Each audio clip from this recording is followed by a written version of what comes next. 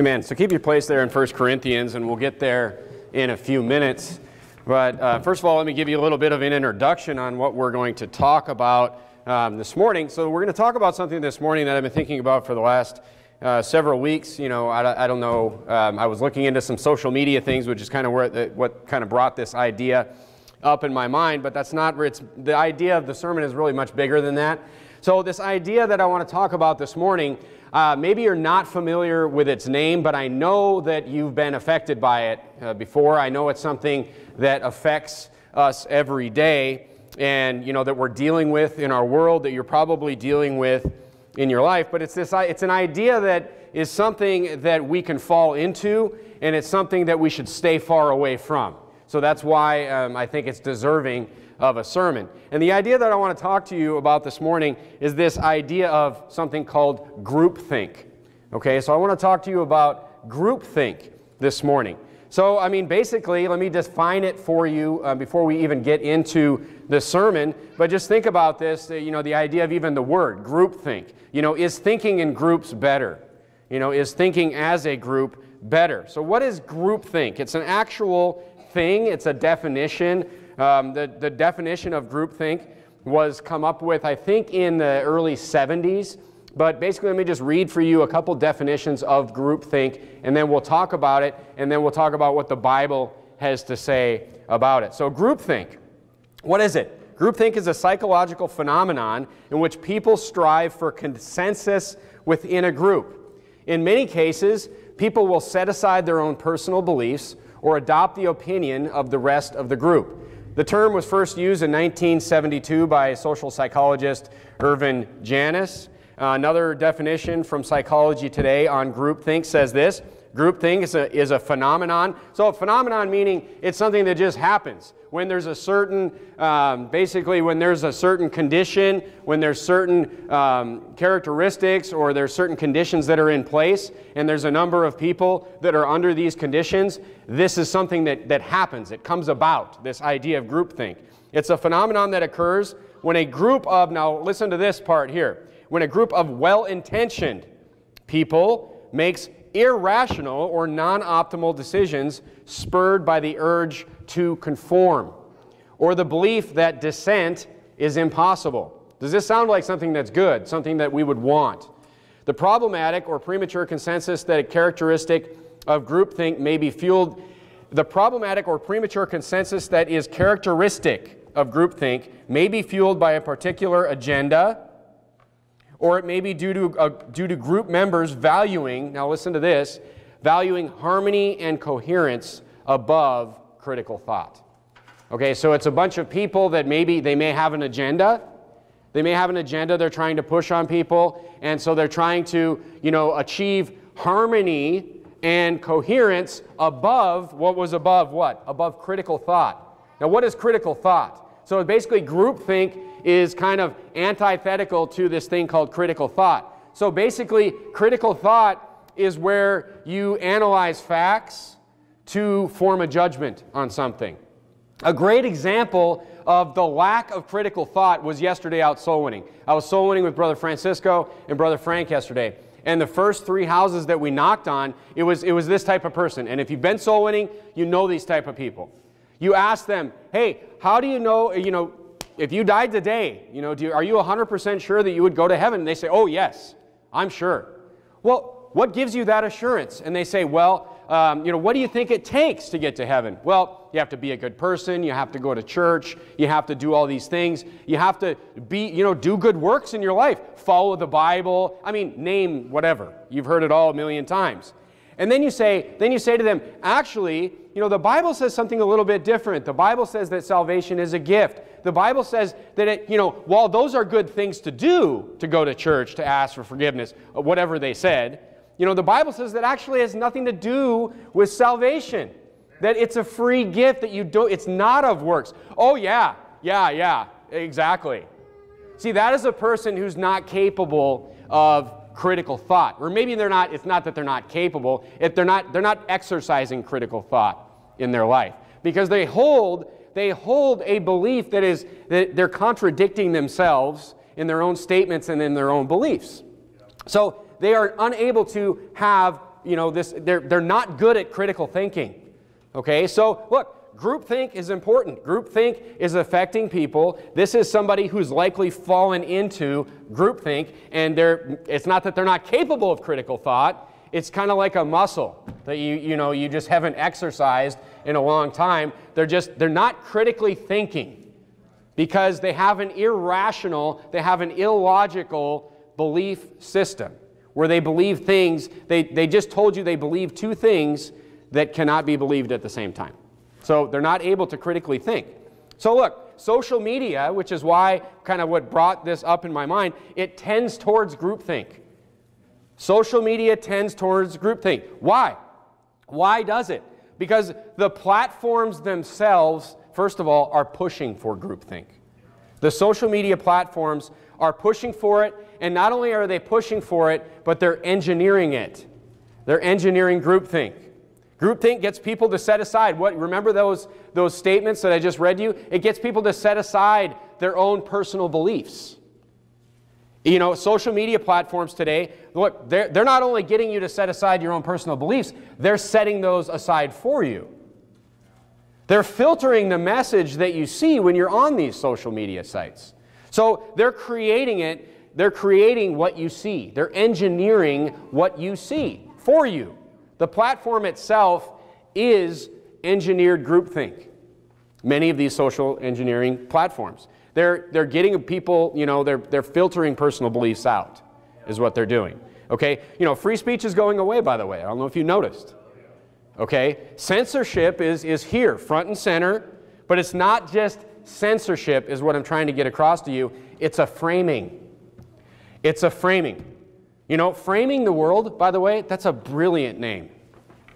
That framing the world is, is I mean, it's a brilliant name. You know, so that's what everyone's trying to do. That's what social media is doing today. They are framing a, a worldview for you. They're showing it, they're, they're engineering what they want you to see. Turn to 1 Corinthians chapter 11 and verse number 8. Look, it's also what we're trying to do. We are trying to frame a worldview. We are trying to frame a worldview. I think I have the wrong chapter here. I'm sorry, hang on. One second.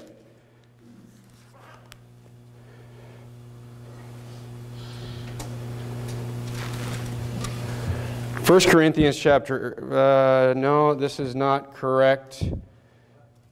Um, I'm just going to read the verses for you. I'm not sure what I labeled wrong here, but the Bible says here, it says, We are confident, I say, and willing rather to be absent from the body and to be present with the Lord. Wherefore we labor that, whether present or absent, we may be accepted of him. For we must all appear before the judgment seat of Christ, that everyone may receive the things done in his body according to that he hath done, whether it be good or bad. Knowing therefore, we're trying to frame a worldview here as well. How do I know? Because this verse right here. Knowing therefore the terror of the Lord, we persuade men. We persuade men, but we are made manifest unto God, and I trust also are made manifest in your consciences. Look, we are trying to do the same thing. We are trying to persuade people of our worldview. We are trying to frame a worldview. Look, we are trying to persuade people of the Bible. That's what the Bible says we're doing. We're trying to persuade people of the truth. And other people are doing the same thing. They're trying to persuade people of their view and stop the persuasion of the truth. So look, groupthink is a part of this. It's a method that they're using for this. Okay, now look, let me just say this note before we get into the sermon, but this is all just for purpose of introduction. This is not to be confused with collaborative thinking. Okay, collaborative thinking Look, collaborative thinking under, you know, collaborative thinking is where I'm a leader and then I take the opinions of those in my group and I, you know, I, I choose the good ones and I, I, I don't choose the bad ones. Okay? Now, collaborative thinking, if done under proper leadership, if done under wise leadership, is extremely powerful. Okay, it's extremely powerful. As a leader, you should use collaborative leadership. However, collaborative, collaborative think, collaborative, the idea of collaboration under poor leadership can lead to groupthink. Under dictatorial uh, leadership can lead to groupthink. Look, I mean, when you're in, in uh, are you saying, you know, I lead my family? Men. You're saying I should collaborate with my family? Yes. You should collaborate with your wife.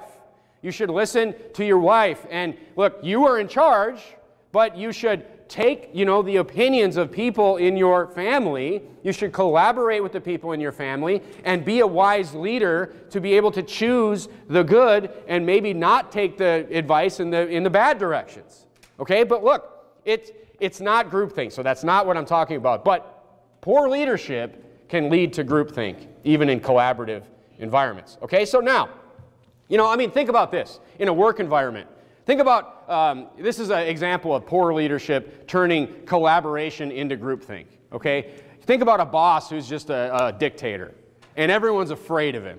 And he just he makes these goals. And they're impossible goals.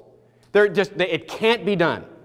But everyone's so afraid to say, hey, you know, we're not going to be able to meet that goal or whatever, and you just end up with all these people who are just yes men, who just tell the boss whatever he wants to hear, and you end up with an entire organization moving in a direction that's an impossible direction.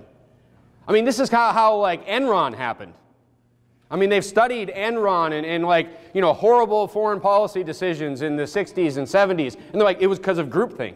It was because everybody was a bunch of yes men and they were just following, you know, this group mentality. Nobody wanted to offend anybody. Nobody wanted to say that wasn't going to work. Nobody said, you know, hey, that's a bad idea. Nobody wanted, they all wanted harmony.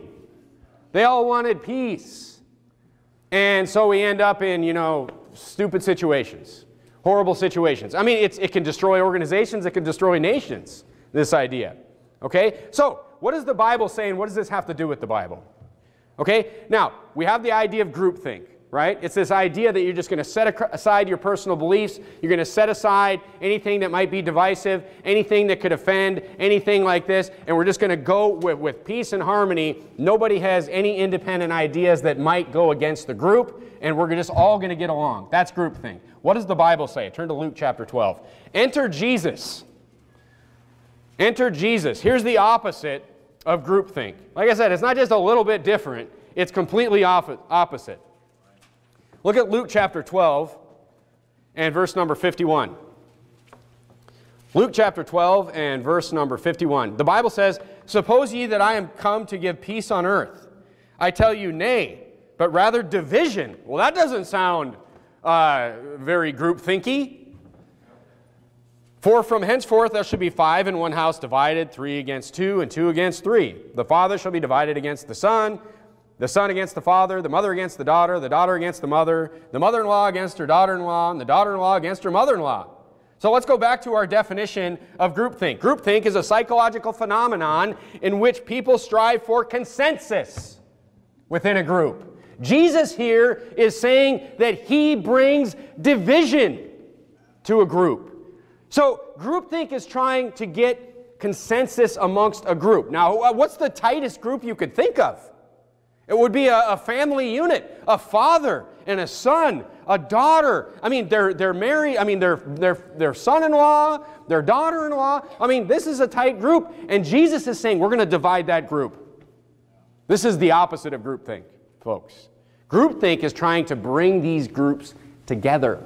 It's trying to get these groups together for harmony and coherence above critical thought. These are people striving for peace. People, I mean, I mean, the fun, here's the funny thing. Turn to Daniel chapter 9. You say peace. Well, I mean, who could argue against peace? I mean, why in the world? I mean, peace is good no matter what. Peace, peace is, I mean, peace is good no matter what. I mean, you say peace. I mean, look, I get up today and I say peace and whatever I say after that is must be true. That's where people are at today. I mean, it's, I'm talking about, hey, peace, blah, blah, blah, blah, blah, blah, blah. And I must be true, whatever I just said. But look, turn to Matthew or uh, uh Daniel chapter 9. Here's somebody that's going to be striving for peace. Here's somebody that's going to be claiming peace. Here's somebody that's going to be bringing peace. Look at Daniel chapter 9 and verse 26. And after threescore and two weeks shall Messiah be cut off. But not for himself, and the people of the prince shall come to destroy the city and the sanctuary, and the end thereof shall be a flood, and unto the end the war, the war desolations are determined. He This is talking about a prophecy of Daniel's 70th week, Daniel's 70 weeks. We've gone through that in detail. I'm not going to preach that again this morning, but this is talking about the Antichrist right here. And the Bible says in verse 27 And he shall confirm the covenant with many for one week.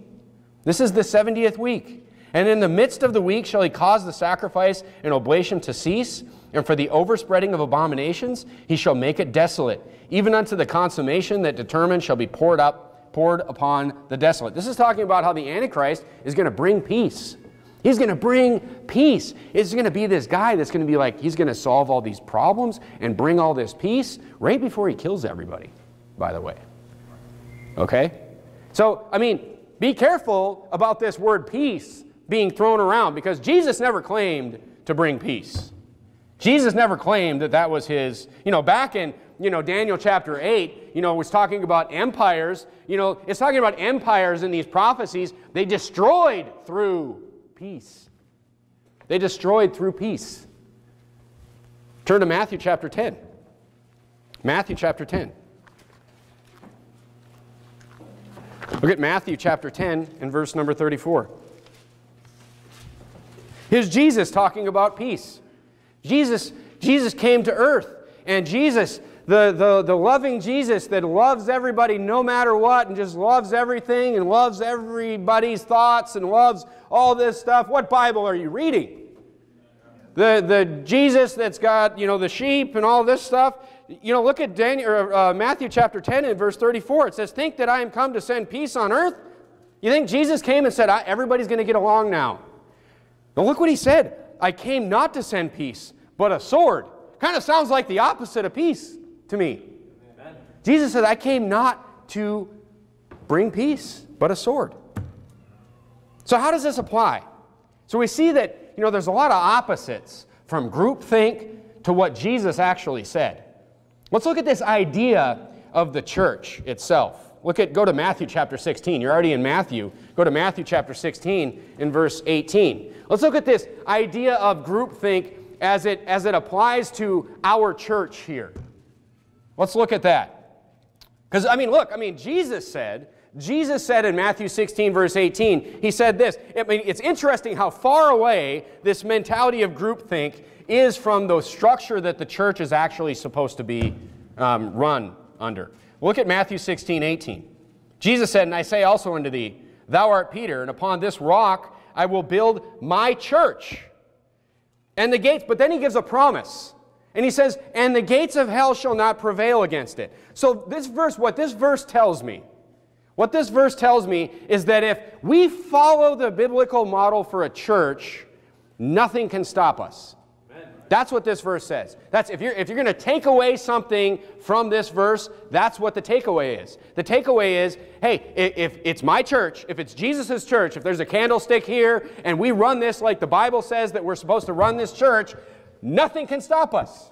That's what this says. The gates of hell the, the, the demons, the Satan himself cannot stop what's going to happen here, what we're going to do here. If, if we follow what we're supposed to do, if we follow the model. Turn to Revelation chapter 4. That's why, that's why you will never see anything even close to hinting about denominations in the Bible. There's no mention of it. There's no mention of it. Look at Revelation chapter 4 and verse number 4. So, what is the model of the church? Of churches? I mean, that's, well, that's, I just gave it away. First of all, I mean, it's churches. You never hear anything about the universal church, you know, the church on earth, any of this type of thing. You hear the church as. When Jesus is writing in uh, Revelation chapter 1 and verse number 4, when he's talking to the church, he's not talking to the church, he's talking to the specific churches. Look at, look at verse 4. John, to the seven churches which are in Asia, grace be unto you and peace from, from him which is, and which was, which is to come, and from the seven spirits which are before his throne. He doesn't mention, you know, to the church in Asia. He doesn't say, you know, in any kind of universal lang- language, okay? There's no universal church in the Bible. It is individual churches. There's no denominations, there's no mention of it. See, the problem is you know, there's no mention of these presidents or vice presidents or cardinals or popes or CEOs. There's no mention of that type of structure when it comes to my church, Jesus says. There's no mention of that. Now, of course, every denomination claims to be the true church, but there's no mention of denominations in, in the first place. You know, so what is the point of, what is the doctrine of a denomination? What are they trying to do? What are they trying to do? What they're trying to do is they're trying to put people into a group. That's what they're doing. And that's why it's not according to the biblical model. They're trying to put you in a group. Why? So they can control the way that you think. That's why. They're going to put you in a group so you think like a group, groupthink. Denominations are an example of groupthink. Pastors in a denomination, they must toe the line, or they can't be part of the denomination. They must follow the rules. They must set aside those personal convictions. The problem with this is not only is it, uh, you know, it's not the biblical model, we see that, but we see that, you know, the, the problematic or the pragmatic problem is that corruption spreads faster, farther, and it's more thorough to corrupt. And of course, the denomination will say, we follow a Bible doctrine. You know, some, some um, don't even claim that, by the way. I think there's a lot of denominations today that don't even claim to follow the Bible. They have gotten away from even saying that the Bible is the infallible Word of God. They don't even believe the Bible anymore.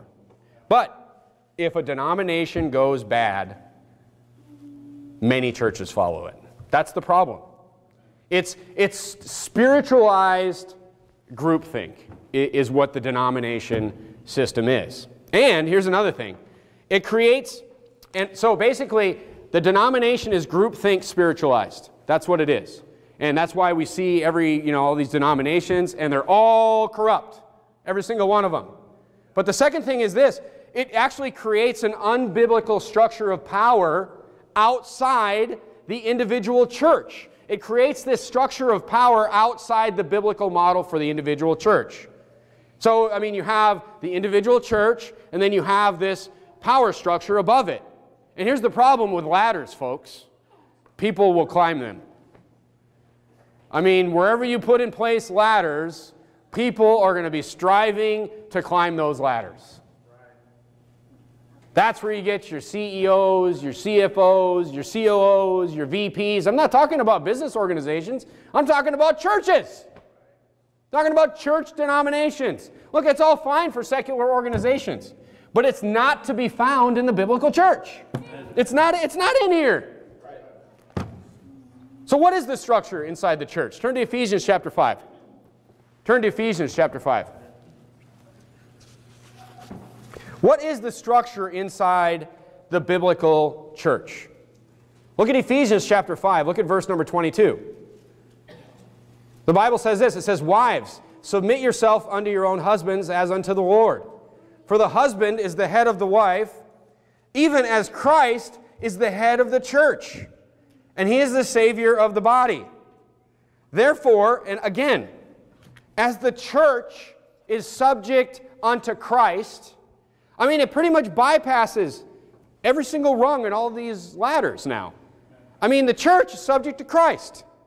There is no pope, CEO, president, vice president, none of that. The church is subject to Christ. That's it. Therefore, as the church is subject unto Christ, let also the wives be subject unto their own husbands in everything. Look down at verse number 30.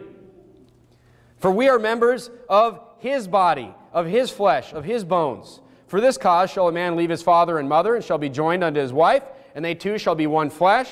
This is a great mystery, but I speak concerning, again, Christ and the church. So we see he's comparing the church and Christ to the same model for a family. I mean, it'd be like, you know, it'd be like there was a bunch of, it'd be like there was a bunch of levels in between a husband and his wife. It, it, was, it would be like if, you know, a husband, yeah, he was in charge of his family, but there's a whole bunch of, like, uh, vice presidents and, you know, CEOs and, pre, you know, all these, you know, before, you know, his wife came into the picture. I mean, it's, it's stupid when you think about it that way. But that's the model. That's the model. It's, it's the church is subject to Christ. That's it.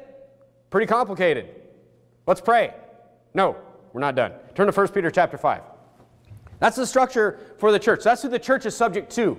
Now, let's look inside the church. So we see the church, we see the church, I need a whiteboard. We see the church and it's subject to Christ. But now let's look inside the church itself. Now we're in an individual church. We're not in a denomination, it's just the church to Christ. That's it. That's the model. But now let's look inside the church. What is that model? You say this is getting complicated. It's really not that complicated. It's pretty simple. Look at 1 Peter chapter 5. Look at verse number 1. The Bible says, The elders which are among you I exhort. The Bible uses elders, pastors, and bishops interchangeably. So he's talking about pastors which are among you I exhort, who am also an elder, and a witness of the sufferings of Christ, and also a partaker of the glory that shall be revealed.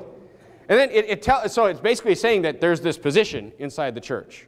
Okay, it's this position of an elder or a pastor, or it also calls it a bishop. In verse number two, it tells you the, the job of this person. Peter is exhorting these leaders, exhorting these, these church leaders, these pastors, and he says, Here's your job. In verse 2, he says, Feed the flock of God which is among you, taking the oversight thereof. It's like you, you are in charge. Lead that flock of God. Not by constraint, but willingly. Whoa! That's where, you know, we just lost a bunch of pastors right there. Not by constraint, but willingly, not for filthy lucre, but of a ready mind. Neither as being, again, lords over God's heritage, but being examples to the flock. And when the chief shepherd shall appear, so you're kind of like this shepherd, pastor. You're, you're a shepherd, but there's a chief shepherd coming. You shall receive a crown of glory that fadeth not away. But look, so there's these, there's these guys and we, I'm not going to get into the qualifications of these men, but I mean, the Bible's very specific on who can be one of these elders, pastors, or bishops. Same thing. And who's qualified and who's not. And what their job is. Their job is right here. It's to feed the flock of God. Not by, but it can't be by force or threat. Most problems that you see within a church leadership is, uh, or a lot of them that comes from the pastor anyway, is because of this. It's the pastor, he feels like he's losing grip. So I'm going to threaten to take away your salvation today. Listen to me, if you don't come to church, I'm going to take away your salvation. You know, these people that sat in church for 20 years, they sat in church for 20 years and they, they stood up in church one day and they're like, oh, oh, I don't even think I was saved. They sat in a Baptist church for 20 years, they had the right gospel, and they stand up and they say, oh, ah, I just got saved five seconds ago. They're in a church where their pastor is threatening their salvation constantly. That's, right. That's the answer to that. You're like, how could that happen? How could somebody, it, it didn't happen. They're just threatened. They're threatened. They're, they're, they're trained to doubt their own salvation. So it's a, it's a pastor that can't control or, you know, is losing control of his, you know, or thinks he has to control or whatever. It's a control tactic. That's it.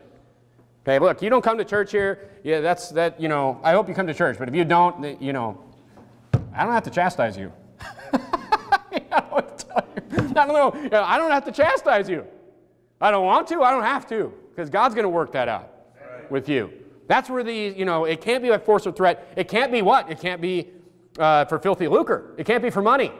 Anybody who do this for money is insane, but I don't know.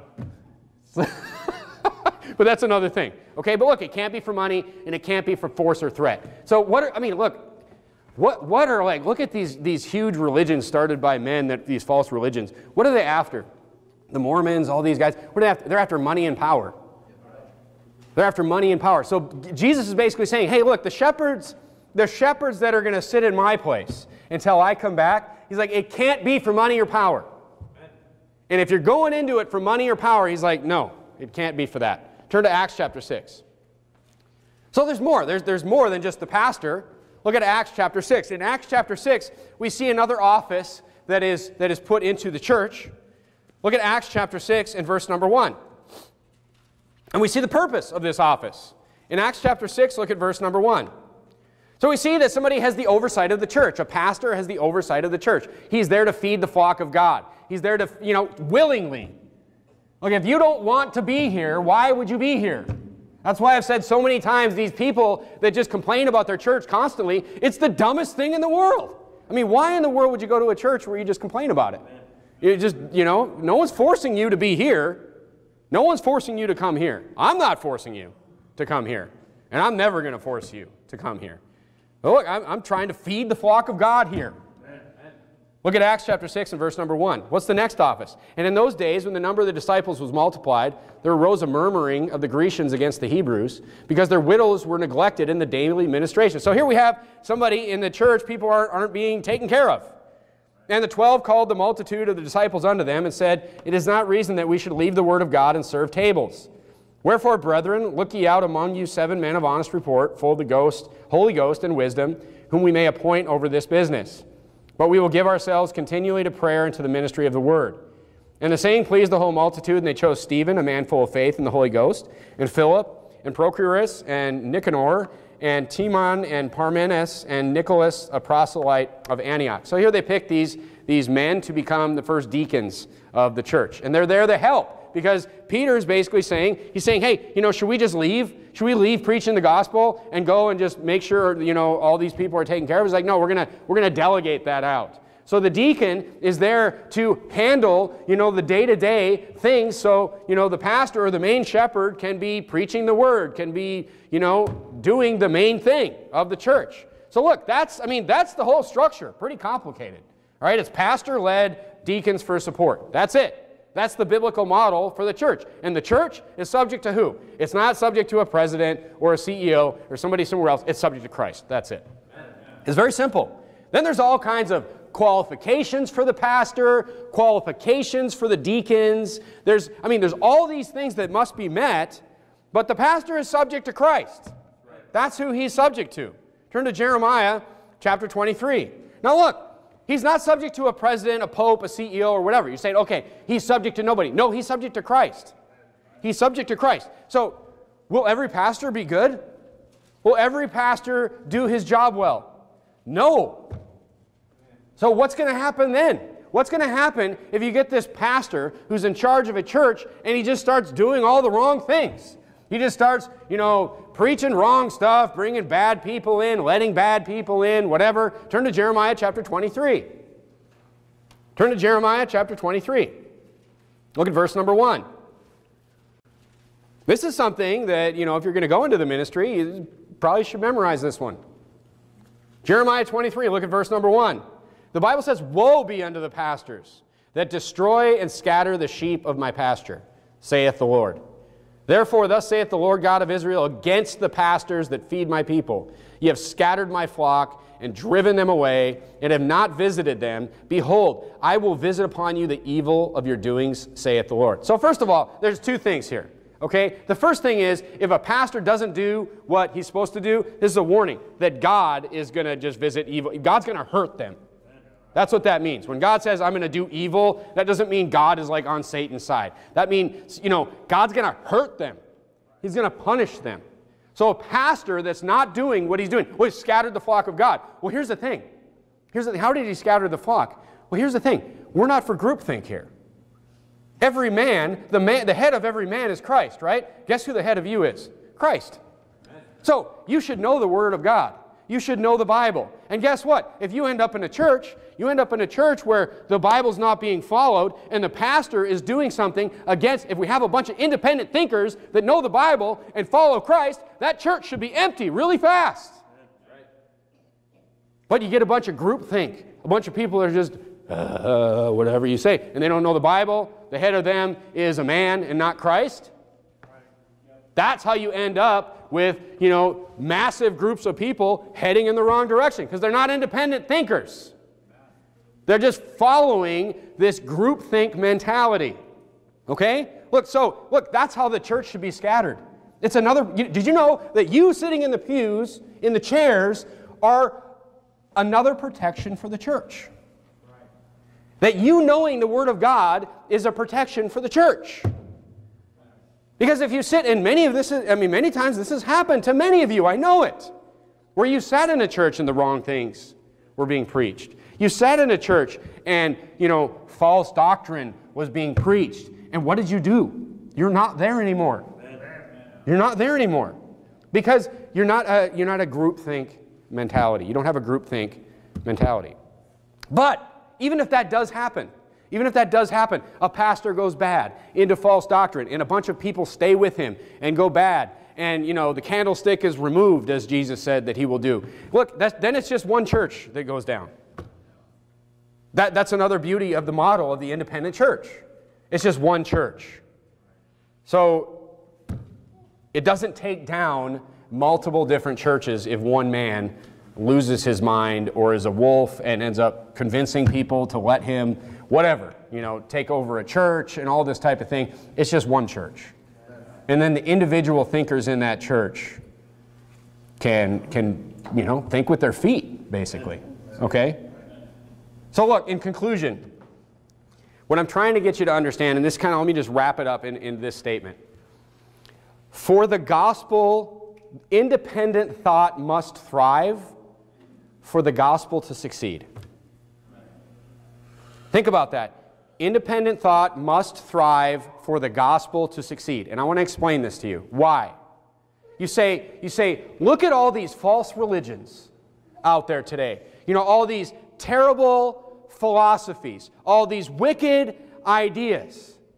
Look, I'm telling you, when you see all this, you're sitting here and you're like driving by all the churches, and you're like, 95, 95% of all churches are false gospel. Why? It's so depressing. It's no, it must exist. It must exist. Why? Why must it exist? Don't be discouraged. They have to exist because if only one is chosen, if only one religion or idea or philosophy is chosen, it will never be the truth. That's why they must exist. Turn to Luke chapter 13. You say, that's interesting, you just made that up. No, I'm gonna, I'll show you from the Bible. Look at Luke chapter 13 and verse number 23. Look, when Jesus comes back, he's going to fix it all. But during this time, it all must exist. Don't let that discourage you. It, it must exist. For the truth to be able to have even a chance, it must exist. And here's why. Look at Luke 13, verse 23. Then said one unto him, Lord, are there few that be saved? And he said unto them, Strive to enter in at the strait gate. For many, I say unto you, will seek to enter in and shall not be able. In Matthew 7, he says, Straight is the gate and narrow is the way that leadeth unto life. Broad is the way that leadeth unto destruction. They asked, Are there few that be saved? And you know what Jesus said? He said, Yes. Amen. We are always going to be the minority out here. Right. Always. The gospel, the true word of God, is never going to be the majority opinion. Why? Turn to Acts 7. Let's look at one of the deacons. One of my favorite chapters in the entire Bible. Acts chapter 7. I mean, think about this. Stephen preaches a sermon. He basically recaps the entire Bible in his sermon and then preaches the gospel right after that. I mean, it, he's filled with the Holy Ghost. The Bible says his face was like an angel. Can you imagine the speech? Can you imagine what it sounded like and what it looked like? And people, I mean, can you imagine somebody gives a sermon like that? I mean, they must have just been praised. They must have been praised. And they, can you believe it? And people must have just got down on their knees crying and getting saved. Look what happened. Look at verse 54. When they heard these things, they were cut to the heart and they gnashed on him with their feet, with their teeth. But he, being full of the Holy Ghost, looked up steadfastly unto heaven, into heaven and saw the glory of God and Jesus standing on the right hand of God. Jesus stood up for him. So Jesus recognized it, but they killed him for it. Look, the gospel is never going to be the popular opinion. It cuts to the heart. It's no different for us than it is in Jesus' day. It's the same thing.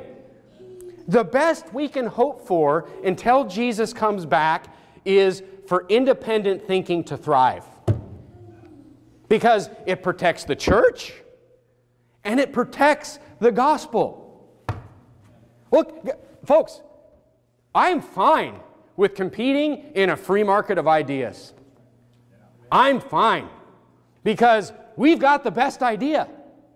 I mean, it's like we're out there selling Ferraris and everybody else is pitching bicycles. I mean, but the thing is, if, if we go into groupthink, it's never going to be the Ferrari that's chosen. It's going to be one of the bikes. It's going to be a used, rusted bike. It doesn't even work. So I'm fine. Hey, I'm fine being out there. I mean, how many times have you been soul winning and, and you're out there and you're talking to one of these people that they, they're all wrapped up and mixed up and you're giving them the gospel and they're like, that just makes so much sense. Like, that's so simple. Like, wow, I've never heard anyone, I've never heard it explained like this before. What are we doing? Do we make up some weird thing? No, we're just reading the Bible to them. That's it. You're like, there's a million different false religions. No, there's only, there's only two religions in the whole world. There's, there's works-based salvation and there's the Bible. That's it. So I'm fine because we got the best idea. We have the idea. Look, there's only one idea where you can believe it and the entire Bible will make sense. If you believe these other bicycles or these other ideas, you can't even read the Bible because you're like, oh, that, that sounds weird. That doesn't sound like it goes with my idea. Not of works. I mean, I mean, that's complicated, right? That's a complicated phrase. Not of works. I mean, can you imagine believing works and then reading, you know, Ephesians 2? I mean, what would you even think? You're like, oh man, I better just stop reading the Bible and just listen to, you know, Padre or whatever. You know? I mean, that, but that's why they don't read the Bible. Because it doesn't make any sense. Because it's a, it's a, they, they, they're not going to, if they critically think, the Bible doesn't make sense to what they believe. So we have the best idea. It will never be the idea that's chosen, though. So until Jesus comes back, just be happy that we have independent thinkers out there. Because we have, I mean, we, we have the best thing. It, Jesus, and look, Jesus knew this when he said that we persuade men. He's like, you're going to persuade men, meaning you're going to go out there. I'm giving you, look, he's like, I'm giving you the Ferrari.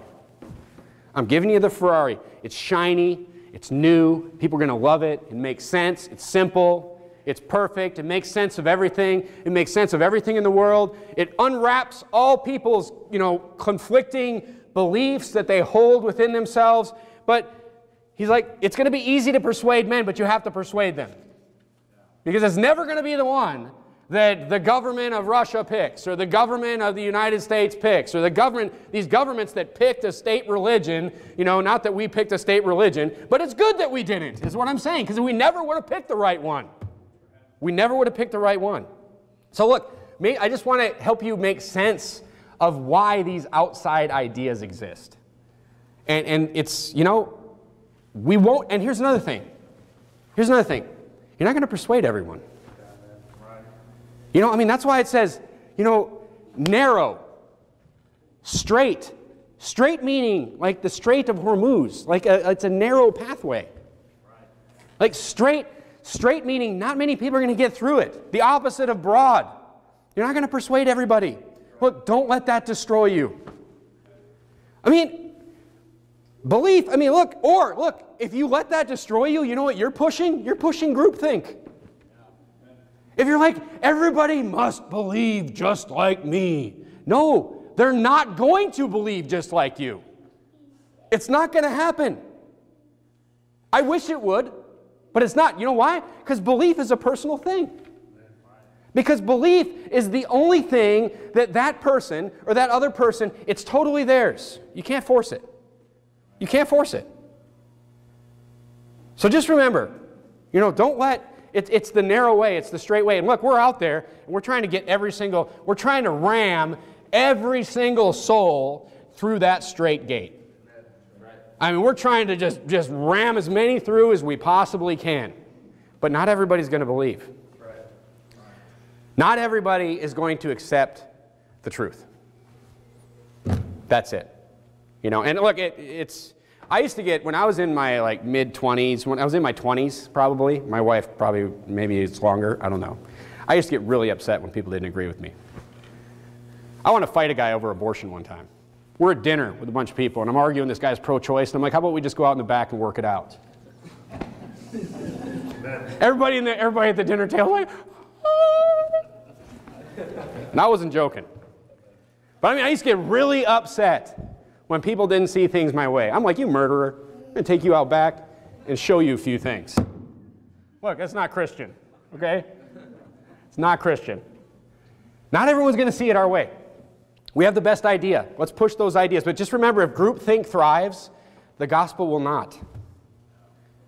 Because the gospel will be, remember, it's talking about getting people to compromise their ideas, to compromise their personal beliefs. The gospel itself will be the idea, the first idea that is compromised. It will be the first thing that is thrown to the side. Why? Because it divides, it offends, it cuts to the heart. You can't have a group think environment, you know, just looking for everyone to be in harmony and have somebody preaching the gospel. It's not going to work because it cuts to the heart. They killed Stephen for it. They killed Stephen for it. It divides people. Uh, that's what it does.